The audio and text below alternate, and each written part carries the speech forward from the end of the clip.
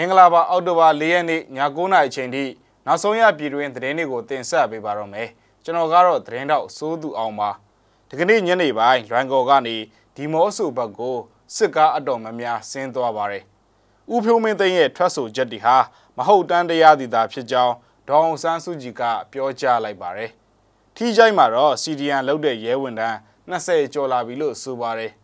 ပတင်ကြီးမြို့နယ်ရေလောင်ကြီးရွာကမိုင်းတဲတာဝါတိုင်း ဒီကနေ့ညနေပိုင်းမှာဖျက်ဆီးခံလိုက်ရပါတယ်။နိုင်ငံတကာသတင်းတွေဘက်မှာတော့ပူးပေါင်းဆောင်ရွက်မှုမရှိရင်မြန်မာအာဏာသိမ်းခေါင်းဆောင်ကိုအာဆီယံညီလာခံပေးမတက်တာမျိုးဖြစ်လာနိုင်တယ်လို့မလေးရှားဘက်ကပြောလိုက်ပါတယ်။ဒီအကြောင်းတွေပါဝင်တဲ့နောက်ဆုံးရပြည်တွင်းနဲ့နိုင်ငံတကာသတင်းတွေကိုတင်ဆက်ပေးပါတော့မယ်။ကရင်ပြည်နယ်ဒီမော့ဆိုမြို့နယ်ဒေါ်ဘိုးစီရွာဘက်မှာအောက်တိုဘာ၄ရက်နေ့ညနေပိုင်းပြစ်ခတ်တံတွေကြားနေရကြောင်းဒေသခံကပြောပါတယ်။ ရိုင်ကော်ဘက်ကနေတိုက်ပွဲဖြစ်ပွားရာဘက်ကိုစစ်ကောင်စီစစ်ကားတွေဆင်းလာကြတဲ့ဗီဒီယိုဖိုင်တချို့လည်းထွက်ပေါ်လိုလာပါတယ်။အသေးစိတ်ကိုတော့မျက်စိမှကဆက်လက်စုံစမ်းနေပါတယ်။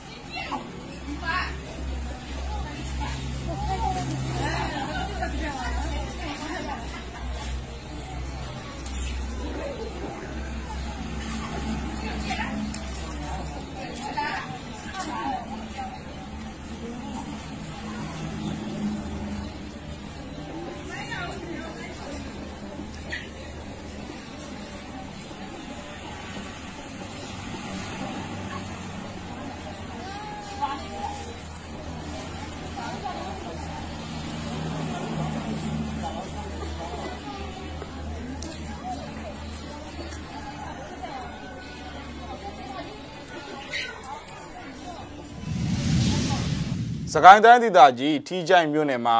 အကြမ်းမဖက်အာနာဖီဆန်နဲ့စီရီယန်ပြုလုပ်ပြီးပြည်သူနဲ့လာရောက်ပူးပေါင်းတဲ့ရဲဝန်ထမ်း20ရှိပြီလို့ထီးကြိုင် PDF ကသတင်းထုတ်ပြန်ပါတယ်။ထီးကြိုင်မြို့နယ်အတွင်းစစ်ကောင်စီထောက်ခံနေတဲ့ဝန်ထမ်းမှန်သမျှစက်တင်ဘာ30ရက်နောက်ဆုံးထားနှုတ်ထွက်ကြဖို့ကိုထီးကြိုင် PDF အင်အားစုတွေကတောင်းဆိုထားပါတယ်။တောင်းဆိုမှုအပြီးရဲနယ်အုပ်ချုပ်ရေးမှုအပါအဝင်ဝန်ထမ်းအများအပြားစီရီယန်လှုပ်လာကြကြောင်းကိုလည်းသိရပါတယ်။ ထီးကြိုင်ပြည်သူကာကွယ်ရေးတပ်တွေကအောက်တိုဘာ3ရက်နေ့တုန်းကအလဲတော်ကျေးရွာရဲစခန်းကိုမိရှို့ဖျက်ဆီးခဲ့ပြီးထီးကြိုင်မြို့ပေါ်စခန်းကိုလည်းဒီကနေ့မှလက်နက်ကြီးနဲ့ပစ်ခတ်တတိပေးခဲ့တယ်လို့ထုတ်ပြန်ထားပါတယ်ခင်ဗျရန်ကုန်တိုင်းဝန်ကြီးချုပ်ဦးဖြိုးမင်းသိရဲ့ထွက်ဆိုချက်တွေဟာမဟုတ်တမ်းတရားသေးတာဖြစ်ကြောင်းဒေါအောင်ဆန်းစုကြည်ကမှတ်ချက်ပြုလိုက်တယ်လို့သူမရဲ့ရှင်းနေဦးခင်မောင်စောကပြောပါတယ်အောက်တိုဘာ၄ရက်မနက်ပိုင်းမှာ ဒေါအောင်ဆန်းစုကြည်နဲ့သူမရဲ့ရှင်းနေအဖွဲ့ဝင်တွေတီးတန့်တွေ့ဆုံစကားပြောစဉ်အဲ့လိုမျိုးပြောဆိုလိုက်တာပါဒေါအောင်ဆန်းစုကြည်ကကျွန်တော်တို့ကိုတီးခြားသဘောထားတွေဘာမှပြောစရာမလိုပါဘူးတဲ့မဟုတ်တမ်းတရားတွေလို့ပြောပါတယ်အားလုံးမဟုတ်တမ်းတရားတွေပေါ့လို့အတိုင်းအမြံရဲ့ရှင်းနေအဖွဲ့ဝင်ကပြောပါတယ်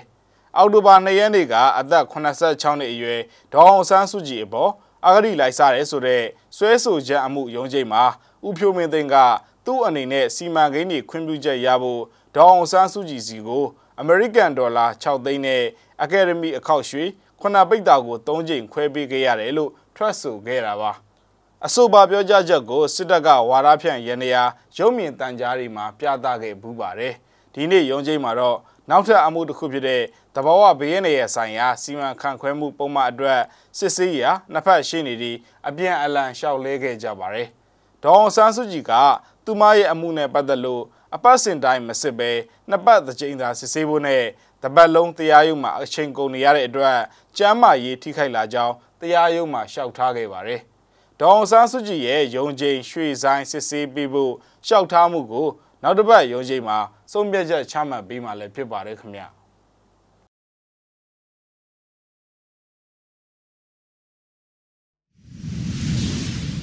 ကချင်ပြည်နယ်တနိုင်းလီဒိုလမ်းမကြီးပေါ်ကစစ်ကောင်စီရင်နှန်းကို လုံခြုံရေးပေးဖို့ရောက်နေတဲ့တပ်ဖွဲ့ကိုဒီကနေ့မနက်ပိုင်းကကချင်လွတ်လပ်ရေးတပ်မတော် KIA ကဂျားဖြတ်တိုက်ခိုက်လိုက်ကြောင်းသိရပါဗျ။ရှဒူးစုအခြေဆိုင်ခလာရ29ခွန်တိုင်ရင်မှာရောက်နေတဲ့စစ်ရင်တန်းတွေတနိုင်းဘက်ကိုဆက်လက်ထွက်ခွာနိုင်ဖို့လုံခြုံရေးယူနေတဲ့စစ်ကောင်စီတပ်ကိုအောင်ရနဲ့တိန်ကောက်ကြီးရွာအကြားနှစ်နေရာမှာ KIA ကဂျားဖြတ်တိုက်ကြောင်း KNG သတင်းဌာနကဖော်ပြပါတယ်လက်ရှိမှာတော့ရှဒူးစုစစ်တပ်မှာစစ်ကောင်စီရိခါတဲ့ကား60စီရောက်ရှိနေကြောင်းသိရပါတယ်။တိုက်ပွဲကြောင့်နှစ်ဖက်ထိခိုက်မှုအခြေအနေတွေကိုမသိရသေးပေမဲ့ KIA ကကြားဖြတ်တိုက်ခိုက်တာဖြစ်လို့စစ်ကောင်စီဘက်ကထိခိုက်မှုများနိုင်ကြောင်းသုံးသပ်နေကြပါတယ်ခင်ဗျာမန္တလေးတိုင်းဒေသကြီးပသိမ်ကြီးမြို့နယ်ရေလောင်ကြီးရွာကမိုင်းတဲတာဝါတိုင်းကိုအာနာရှင်စနစ်တိုက်ဖြတ်ရေးပြည်သူ့ကာကွယ်ရေးတပ် PAFD ကအောက်တိုဘာ၄ရက်ညနေ၄နာရီမှာဖောက်ခွဲဖျက်ဆီးလိုက်ပါတယ် PAFD အနေနဲ့မိုင်းတဲတာဝါတိုင်းတွေပါဝင်စစ်တောက်တိုင်တွေကိုပြစ်ခတ်ဖောက်ခွဲဖျက်ဆီးသွားမယ်လို့အဖွဲ့ဝင်တယောက်ကပြောပါတယ်အောက်တိုဘာ3ရက်နေ့ကလည်းအမရဘူဝါမြို့နယ်ဒဇင်အေးရက်ကွက်မင်္ဂလာမှန်ကန်ကျောင်းမြောက်ဘက်က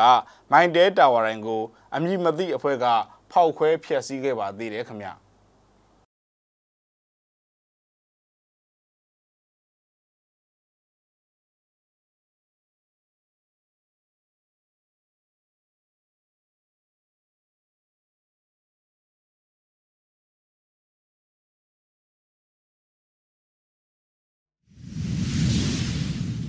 ဆက်လက်ပြီးတော့နိုင်ငံတကာသတင်းတွေဘက်မှာတော့အာဆီယံနဲ့သက်ဆိုင်တဲ့သတင်းတစ်ပုဒ်ကိုတင်ဆက်ချင်ပါတယ်မြန်မာနိုင်ငံရဲ့အကြက်အတဲဖြည့်ရှင်ရေးအတွက်အာဆီယံအထူးကိုယ်စားလှယ်နဲ့ပူးပေါင်းဆောင်ရွက်ဖို့မြန်မာအာဏာသိမ်းစစ်ကောင်စီဘက်ကငင်းဆန်နေမယ်ဆိုရင်အခုလကုံပိုင်းမှာကျင်းပဖို့ရှိနေတဲ့အာဆီယံအဖွဲ့ထိပ်သီးဆွေးနွေးပွဲကနေမြန်မာကိုခြံလက်သွားနိုင်ကြောင်းမလေးရှားနိုင်ငံသားရေးဝန်ကြီးက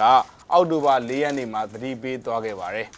မြန်မာနိုင်ငံမှာရွေးကောက်ခံအရသာအစိုးရကိုဖြုတ်ချအပြီး စစ်ကောင်စီကအာဏာသိမ်းပြီးနောက်ပေါ်ပေါက်နေတဲ့နိုင်ငံရေးအကြက်အသေးကိုဂျားဝင်ဖြည့်ရှင်းဖို့အာဆီယံအုပ်စုကဘရူနိုင်းဒုတိယနိုင်ငံသားရေးဝန်ကြီးအာရီဝမ်ယူဆုကိုမြန်မာနိုင်ငံဆိုင်ရာအထူးသံတမန်ဖြစ်ခန့်အပ်တာဝန်ပေးလိုက်တာပါလက်ရှိအချိန်မှာတော့အဆိုပါအာဆီယံအထူးကိုယ်စားလှယ်မြန်မာနိုင်ငံကိုလာရောက်နိုင်ရင်းနဲ့ပတ်သက်လို့အာဏာသိမ်းစစ်အုပ်စုနဲ့ညှိနှိုင်းနေရဆဲအစ်စ်မှာပဲရှိနေတာပါ မြန်မာအာဏာသိမ်းစစ်ကောင်စီဘက်ကအာဆီယံအထူးကိုယ်စားလှယ်နဲ့ပူးပေါင်းဆောင်ရွက်ခြင်းမရှိတဲ့အပေါ်စိတ်ပြတ်မိကြောင်းမလေးရှားနိုင်ငံနိုင်ငံခြားရေးဝန်ကြီးကအောက်တိုဘာ၄ရက်နေ့မှာတခြားသောအာဆီယံဝန်ကြီးတွေနဲ့တွေ့ဆုံစဉ်ပြောကြားခဲ့ပါသေးတယ်။တစုံတရာတိုးတက်မှုမရှိရင်တော့မြန်မာစစ်တပ်ခေါင်းဆောင်ကိုဒီလကုန်ပိုင်းအာဆီယံထိပ်သီးတွေ့ဆုံပွဲမှာပါဝင်စေခွင့်ပြုဖို့ကခက်ခဲပါလိမ့်မယ်လို့သူကတွစ်တာမှာလည်းရေးသားခဲ့ပါတယ်။ ဒါပေမဲ့အာဆီယံရဲ့လှုပ်ဆောင်မှုကတိုးတက်မှုနှေးကွေးနေတာနဲ့အတူမြန်မာနိုင်ငံရဲ့အကြက်တဲကနေကြီးမားတဲ့ဘေးဒုက္ခဇိုးကြီးမျိုးဖြစ်မလာစေရေးတားဆီးဖို့နဲ့ဒေသအတွင်းနဲ့နိုင်ငံတကာကအမြန်ဆုံးဝိုင်းဝန်းတုံ့ပြန်ဆောင်ရွက်ရေးကိုလည်းကုလသမဂ္ဂကတိုက်တွန်းထားခဲ့ပါသေးတယ်ခင်ဗျာ